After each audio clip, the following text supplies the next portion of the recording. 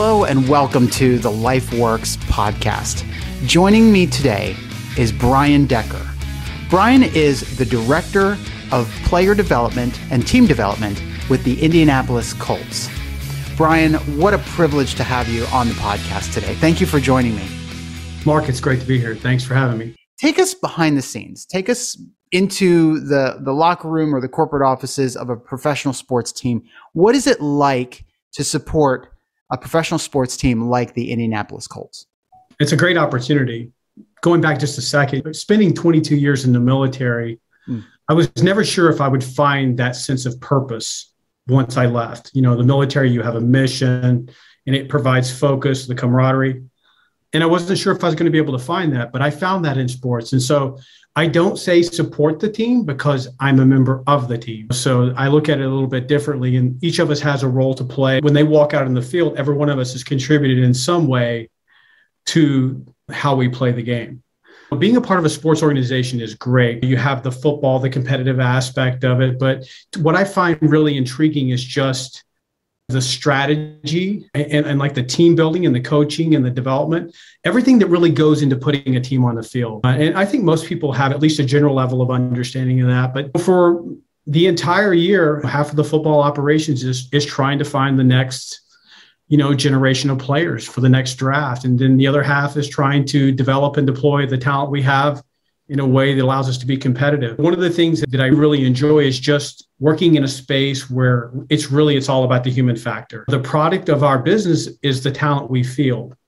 And so when you have that as your product, I think your talent acquisition, your talent development, those portions or functions of your organization are fairly robust when compared to maybe a normal organization. Once in the organization, what I think it's really what makes it special is just to be a part of something to have a role where you can create value in the, the, relationships you develop with coaches, players, and scouts because we are all in this together. We're unified in purpose. And we all have that same mission of climbing that mountain and ultimately hoisting the trophy. What do you look for in a player? Just to understand the process a little bit, I don't evaluate the talent. Coaches and scouts who really take care of that.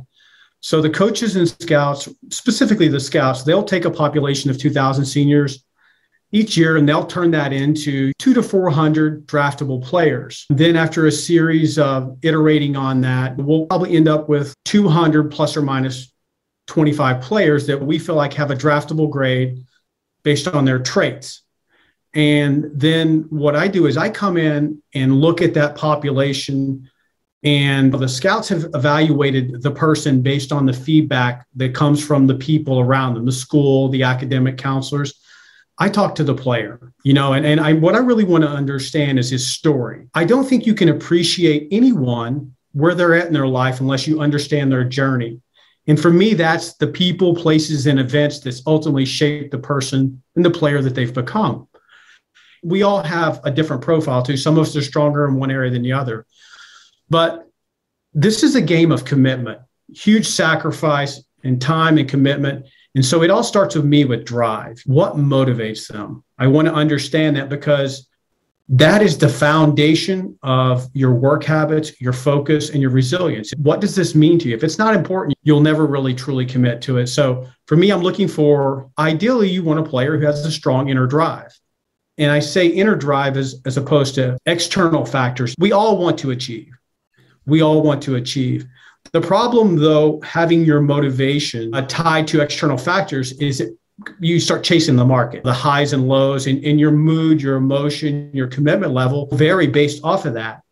And I find that players who have a strong inner drive or purpose, who are playing for something greater than themselves, they don't seem to experience the same highs and lows because their drive never wanes. Secondly, I'm looking for people that can that can handle adversity specifically have they made adversity their teacher?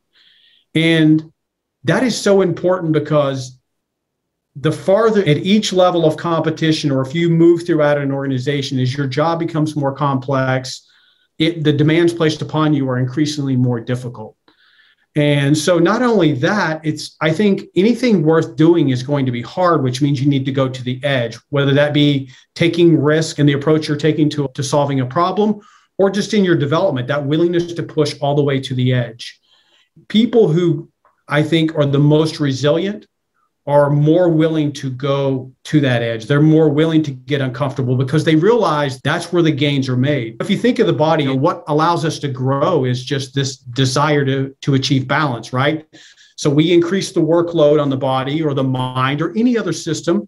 And then we keep it under that load, and then the body adapts, and then we have a new high level mark. And so it's only those people that I think have made adversity their teacher, have developed resilience, have developed tools and strategies that allow them to tackle the difficult that that truly see the greatest gain.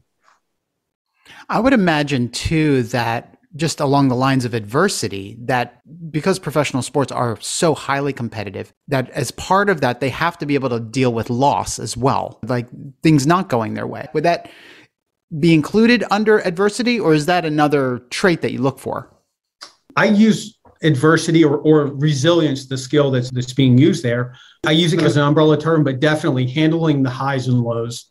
You think about it in sports, we have businesses have four earning statements a year. We have 16, 17, 18, 19, 20. And whereas I think in baseball and basketball, the seasons are longer and a loss here or a loss there, they are looking more at the trend lines. But every game in the NFL matters. And I think that's why it's the greatest sport. Like every game matters. And the level of competition is so close between the top and bottom team in the league that on any given week you can get beaten. And so there's no doubt being able to handle setbacks along the way, you know, losses, but you also got to be able to handle success. It's, I think it's harder to remain successful than it is to become successful. You know, it takes more of you. And yeah, you got to be able to handle the highs and lows. And in any given team, you have that cumulative win loss, but then there's tons of little position battles and individual goals being met or falling short of on a daily basis. And you got to be able to process those. And the best players, the players I find that are most resilient, they learn that lesson early on that I have to focus on the things that I can control. I really have to focus in on the things that I control. And they focus in on their process, the way they prepare, the way they practice, the way they focus in their effort. And you got to allow the results to take care of themselves. That doesn't mean that winning is not important. We all want to win. And ultimately, we will all be judged based off of wins and losses. But we really focus on the process that, that allows us to arrive at that game with a high state of readiness and then to be able to manage our talents through it. You spent a huge portion of your career around high performance people. You spent many years in the Army Rangers, the Special Forces. You've also spent considerable amount of time among professional sports teams as well. So you've spent a lot of time among top performers, not just high performers, but we're talking the top 0.01% of those organizations. How would a person know that they are an objectively high performing person?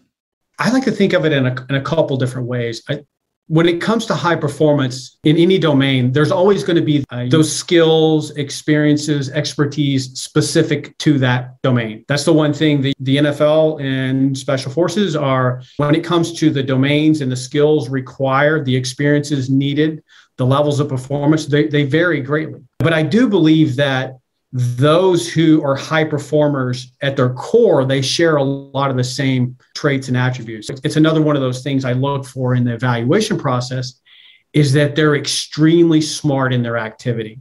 I'm not talking about academic intelligence. I'm not necessarily talking about like any type of measured intelligence, but they see and understand their, we'll call it sport. They see and understand their sport at a very high level.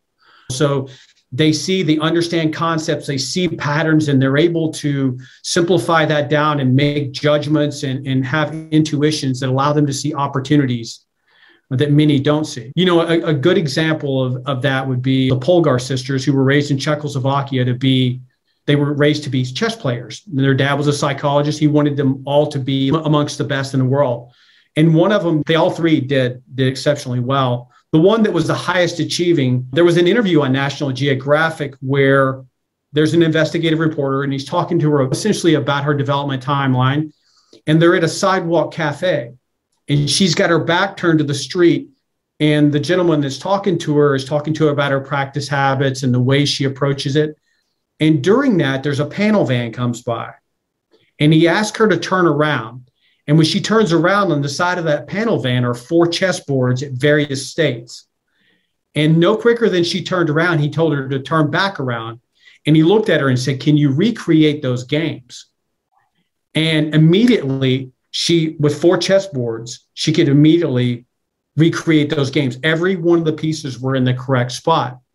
Now, that doesn't necessarily mean she is super intelligent cognitively, but her study and understanding of her sport and her activity, she was able to very quickly see that and to chunk it into meaningful patterns that would allow her to operationalize it. And not only could she have recreated those, she could have played out all four of those games in their mind. A lot of them do speed chess where they're playing six, seven, eight, nine games at a time without even being able to see the board. So they have to see it. So, what's underlying all that? I think there's a lot of self study and experience in your field, but it's the development of these vast mental models that allow you to conceptualize your activity and to hang your learning and experience on in a way that informs your judgment and intuition.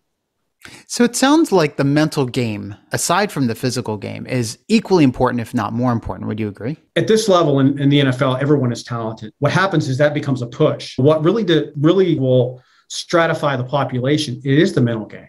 Players who who are going to play early, contribute early, see their role expand, and have long careers, they're going to develop a very advanced understanding of the game relative to their position. And so what happens is, you know, if you think about if you think about a cornerback and he's matched up on a wide receiver, if he doesn't have a really good understanding of the game, when he's lined up, the wide receiver can do anything. He can go any direction. He can release inside, outside. He can, you know, whatever. But if you've studied the game, you understand the formations, you understand the leverage, you know where your help's at. What he's able to do is simplify it down. He really can only do these two or three things. And by doing that, he's able to narrow his focus down to reading those keys, which allows him to rapidly make decisions. Both in the military and in football, it's the speed and, and accuracy of your decisions that ultimately determine success or failure. So let's talk about a player who is having a difficult time. Maybe they're going through a slump. I imagine that even in professional sports that you see those too. How would you help that person go from lower performance or to being a high performer again? It happens very organically, but you have to create a conversation. You have to understand where they're at mentally. You have to understand how aware are they of their situation and the factors that say maybe emotion or other things are causing them? And just use that period of kind of like surveying the landscape to find a couple of things that are actionable. It probably all starts with just mindset. How do you appraise situations? How do you appraise situations? So typically, when people talk about a slump, you're starting to see things compound, right? You have this negative, and then we become hyper focused on that negative. I think most things it begins with it's starting with the right mindset. If you start with the right mindset, you're less likely to be taken off track. Where we have difficulty in life is whenever life doesn't match up to expectations. And the larger the gap between what we expect and what actually happens, the more frustrated or emotional or negative we become. So a part of it is trying to get them to not to assign, not to predict or to try to play things out in their mind, but to only focus on what it is that they can control. And to me, one of the things that helps you be resilient, it's almost like a dashboard for resilience. Where is your mind? Are you able to be right here, right now, 100 focus? It's you and I, Mark. We're sitting here, we're talking. Or is my mind in someplace else? Am I frustrated about something that happened yesterday? A missed opportunity? Am I anxious about something I have to do later on today? But whatever that is, our, our mind has the ability to time travel. And what happens is whenever I'm 100% focused, I tend in the moment, I tend to be able to control my emotion. I'm focused on my performance cues, whatever that is. If I'm in an interview or whatever that is, I'm focused on those performance cues and I'm not caught up in the past or the future because as soon as I start shifting through that, that where we start dividing our attention. Our mind can't multitask. So as we switch between the past, the present, and the future, we're basically just dividing our attention.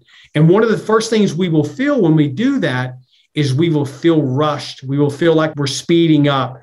So one of the ways in which you just slow everything down is have the right mindset, learn to stay in the present, have the awareness to know if you are in the present and it's shifted, and then learn tools and strategies that bring you back. You know, the mental game is not going to make you more talented, it's just going to give you more access to your ability. So let's talk about the opposite. How do you unlock peak potential in an individual or in a group of people? I think that process is, is fairly long, unlocking that potential. Kind of in my own life or working with athletes my children, I'm really focused on three things. I'm focused on health, I'm focused on development, and I'm focused on performance. And then what, based on those, I have goals and I have a plan that really supports each of those. And so to me, I think that development is the key to unlocking potential. If you were to set and say, what is the tool that has probably developed and unlocked more potential in me than any other thing? It's stretch assignments. Putting people, taking them into the deep end of the pool and throwing them in and having with the support necessary there to help them along the way and allowing them to grow into that position. I look at a lot of development activities and people want to do it in a classroom or they want to do it. Really, the best way you learn and the best way you develop is on the job. It's by doing and it's by being challenged.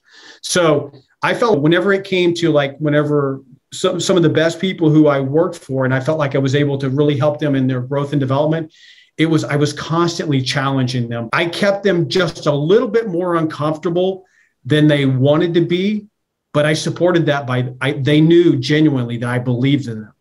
And in many times when you're pushing people like that, you have to believe in them before they believe in themselves, and you have to help them create that. And then it's just about coaching and mentoring them in that process.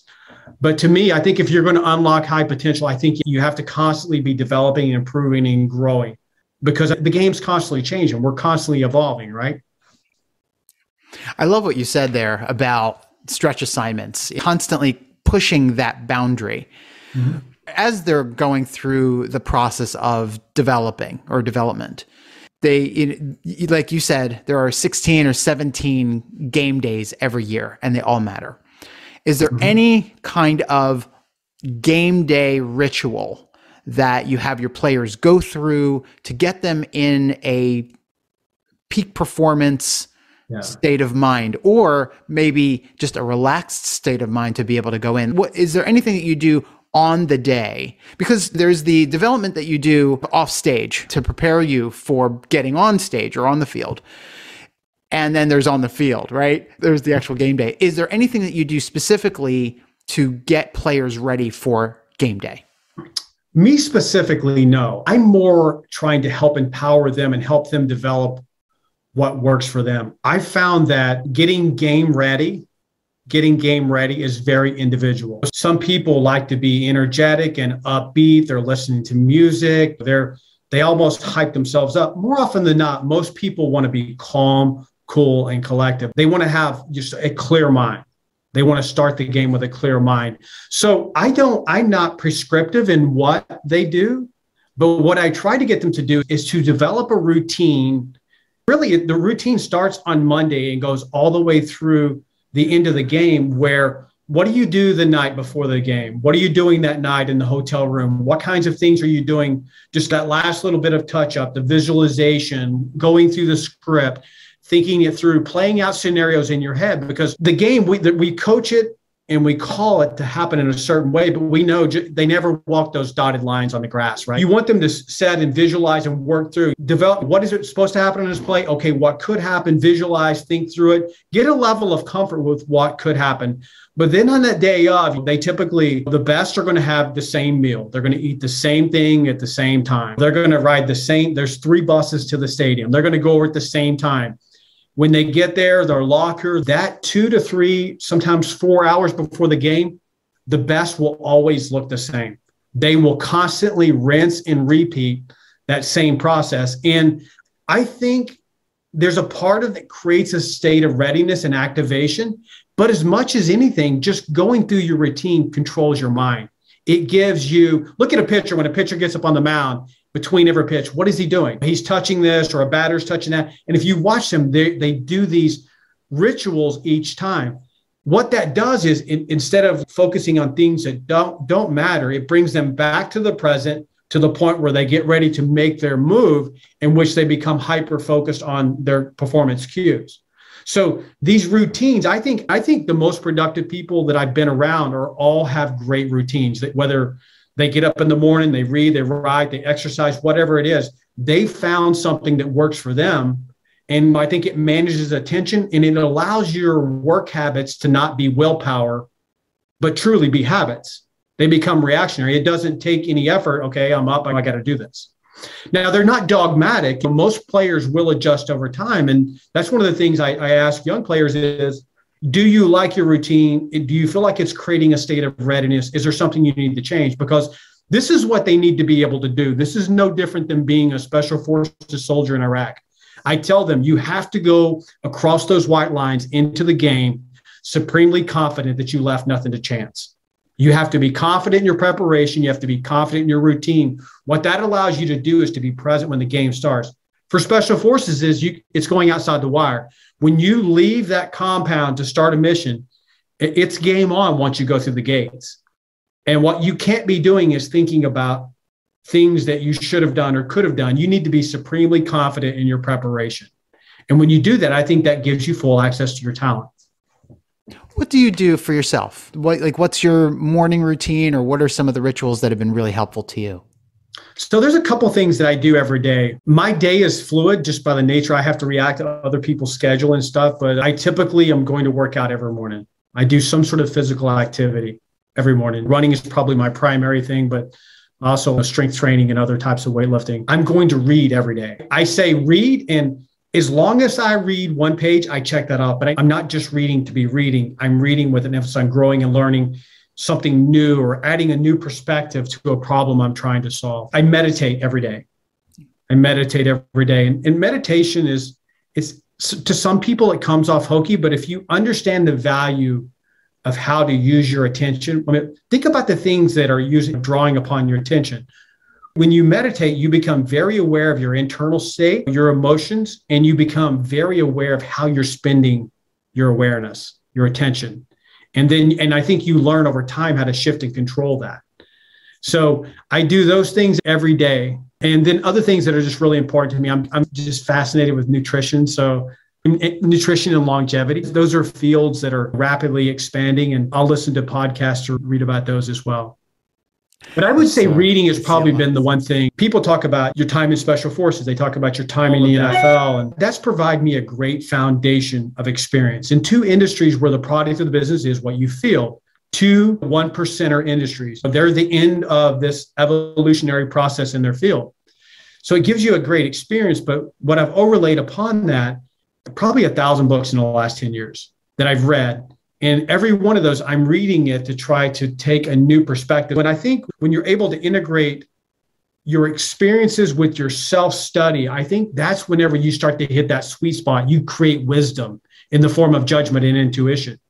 You become better reads and you see opportunities and you see ways of doing things. I see things now that I didn't see 10 years ago. Some of those things that were difficult early on, very effortful or effortless. And so that allows me to take on, you know, greater challenges you mentioned your special forces experience a couple of times. Tell us a little bit about that. What did it take for you to become one of the elite warriors in our military? Well, selection is an individual effort. Getting to the organization, when you think of selection, think about the combine and the draft process altogether. It's a 24, at the time when I went through, it was a 24 day process that where you're going to go through cognitive and psychological testing, you know, background checks. You're going to go through a, a ton of physical measurements, all host of, of physical activities, and then once they say, okay, you've met all those base prerequisites. It's almost like resume screening. Now you move to the second phase where they say, okay, can you take these raw talents, these abilities that you've demonstrated? Now, can you apply them? They use land navigation or orienteering for it. And, and you could do, we could talk for hours, but all special operations around the world, their selection programs use land navigation because it's very physically demanding it's also very intellectually demanding. You know, your spatial intelligence, awareness, and there and it tends to be you have to be able to manage uncertainty because it's it's like anything else. You rarely go point A to point B.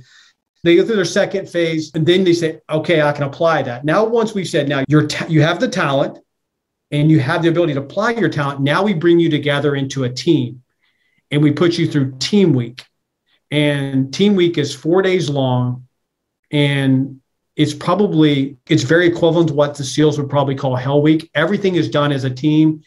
It is extremely hard, extremely long. They never know what they're doing. You never know one minute to the next. There is so you're constantly have to manage uncertainty. You receive zero feedback, no feedback. So you don't for people who need that reassurance or that affirmation that they're doing, you get zero feedback. The only time anybody ever gets involved if, is if it's safety related. And then within that, it's done as a leaderless group. Now, this is a really unique challenge placed upon the group because no leadership is assigned, nor are you allowed to assign or create your own structure within it. And, and so it's, it is, in fact, what we call a leaderless environment, which means it becomes a social based endeavor. It's very merit based how you work together to solve problems. You may have to move, let's just say hypothetically, you've got to move a 55 gallon barrel of water 10 miles in 12 hours and you've got this little bit of equipment.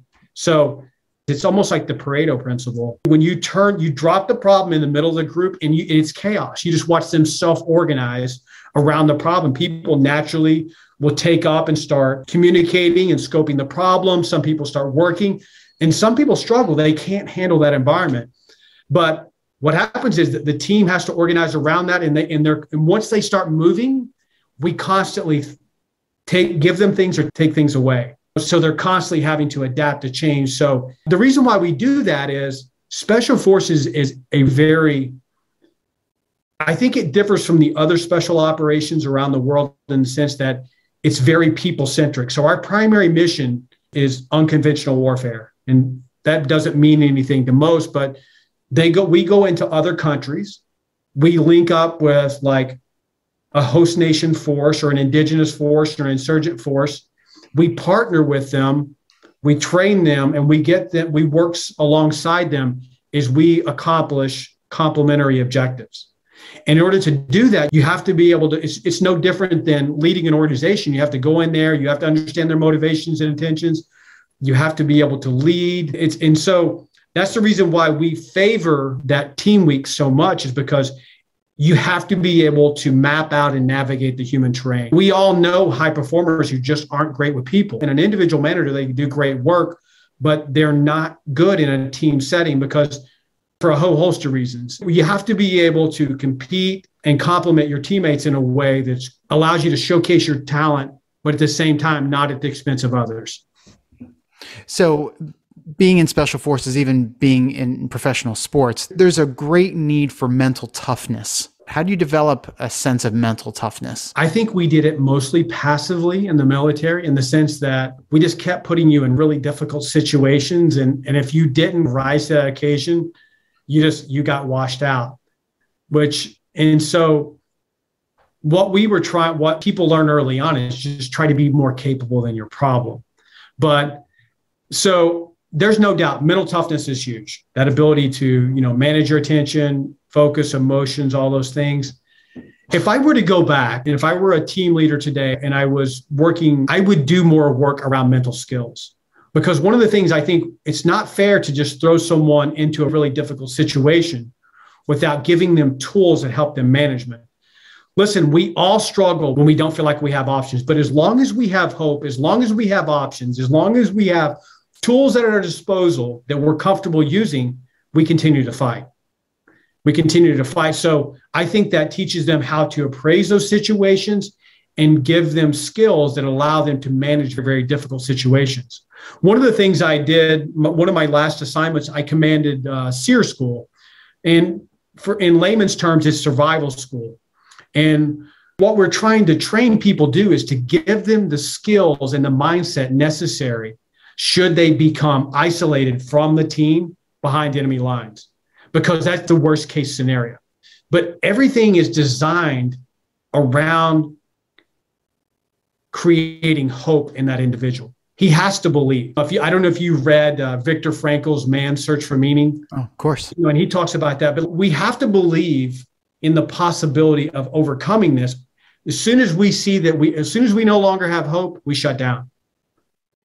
We lose the motivation, the drive to, to continue to work and to persevere. So, what I find is if you create a team that, has these skills at their disposal, when they get into difficult situations, they go back to the bag and they start looking for clubs and they're willing to iterate and try new things. It just gives control back to you.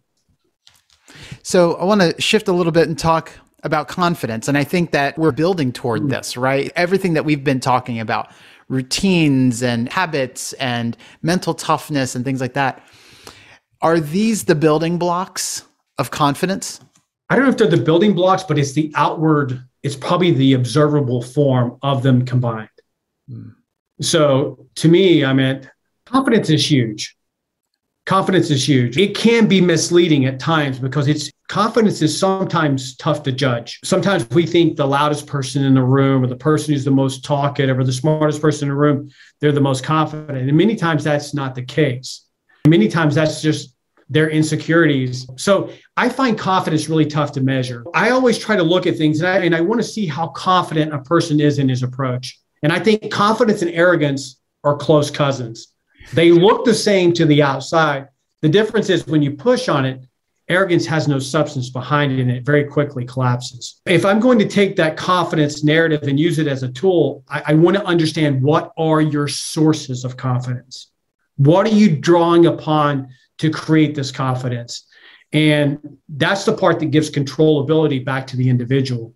If you've got, if you're excellent at taking care of your body, you do all those things, those preventatives to prevent injury, you're eating well, you're sleeping well, you're getting all the prehab in, you're practicing with great effort and focus, you're developing your skills, you're spending extra time at night on your film study to really hone in on the mental game, and you go throughout that week and you have a really good week of practice, then you have should have good confidence levels going into that game. But I will say this, confidence can be has a downside too. And I think that's where you have to be realistic and, and appraise situations because some of the most confident people are also are your greatest risk takers. And sometimes they get themselves into situations where they can't get out. So if you were to ask me like the composition of a team, I don't want 10 highly confident people doing something really dangerous because I need a couple of people that are going to question the plan. That's where having self doubt can be good. Self doubt we look at as a negative thing. And it really, it's not self doubt in and of itself is neither good nor bad. It's how you use it. So if you use, I know players who are super high performers who had all pro careers and have retired that had high levels of self doubt. But what they did was is it caused them to be great planners. They would anticipate and think things through. They they would think the future through. They would realistically appraise that. They would understand the requirements and they would spend huge amounts of time in preparation to develop a level of confidence to overcome that. So if self-doubt fuels your planning and your preparation, it can be good. But for some people, it, it demotivates them get into this spiral of I'm not good enough or am I good enough or and that's where it becomes a detriment to performance. You want a person or two on your team that has some doubt though. You need, and I don't know if that's the, your composite risk manager, whatever it is, but you need somebody that says, hey, listen, is this really a good idea? And I think it's healthy for a team. How do you build a culture organization wide of high performance? High performance as a phrase, as a concept, is something that I think Americans are one of the last to really grab onto it. The Austri- Aussies, the New Zealanders, the Brits, the Europeans have for a long time, they've had high performance models. They're small countries that compete on a large stage. They don't have this talent surplus that the Americans have. So they have to make the best of their populations. So one of the ways in which they do it, they just disaggregate their activity down into its components. For in football, that's that's technical. There's a technique to catching, to blocking, to route running. There's a tactical component, which is a knowledge and decision making aspect of it. There's a physical component to it. There is an emotional component to it. You disaggregate playing football down into its component parts. And then what you do is you then look at that individual I think you tailor the approach down to the individual level. I think one of the one of the principles of high performance is tailoring development and resources to the individual level. There's numerous studies we where if you put people into a classroom and you teach to to the mean, you teach to the mean, your bad get worse and your worse get slightly better, but you're really all you're doing is watering down your population. So by disaggregating your population down to and giving them specifically the things, the resources, the plan, the feedback, the things that they need, I think everybody gets better. And one of the things about a high performance model is I think there's this prioritization like, what are my high payoff levers? You have to prioritize those things and work your way down. But it's like British cycling, they get to the point where they're spraying alcohol on the tires to get more grip. It gets down to where everything matters. And Olympic sports are great at high performance because they spend four years potentially to do an event that's going to take 30 seconds. And the margin of victories are in the hundreds of a second. So I think there's a lot to learn. But so to me, if you think about that, if you're in a business, we tend to think of things as jobs or actions or tasks. If we ever take in something that a person has to do at work and disaggregate it down, what is the what experience is needed to do this? What knowledge, skills, abilities, and other characteristics are necessary to do that? And really disaggregate that down and create those opportunities where you're building all the components that support the whole. But to me, I think high performance is this constant state of evolution and evolving and development.